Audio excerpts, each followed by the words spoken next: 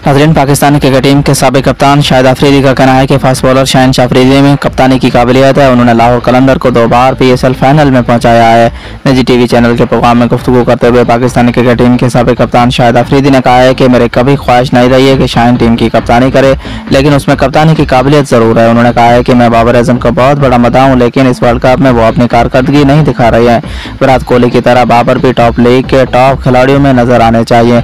उसके अलावा निजी टीवी चैनल से गुफ्तु के दौरान मेज़बान ने शाहिद अफरीदी से सवाल किया है कि उन्हें कभी बॉलीवुड से किसी मूवी की ऑफ़र हुई? उसके जवाब में शाहिद अफरीदी ने कहा है कि मुझे दो से तीन मरतबा फ़िल्म में काम करने के लिए पेशकश हुई, जिसमें बॉलीवुड मूवीज़ भी शामिल हैं, लेकिन मेरा ख्याल है कि इंसान को वही करना चाहिए, वो कर सकता है। उन्होंने कहा है कि मेरी शनाख्त क्रिकेट से है, मैंने फ़िल्मों में काम नहीं किया और ना ही मेरी फैमिली से कभी किसी ने काम किया है। लिहाजा मैंने इस हवाले से अब तक नहीं सोचा। मैंने कुछ कमर्शियल के लिए काम किया है, लेकिन इस फ़ील्ड के लिए उससे ज़्यादा काम नहीं किया है। नाजिन, अब तक के लिए इतना ही। तब तक के लिए खुदाफिज अगर आप हमारे चैनल पर नए हो तो इसे ज़रूर सब्सक्राइब करना।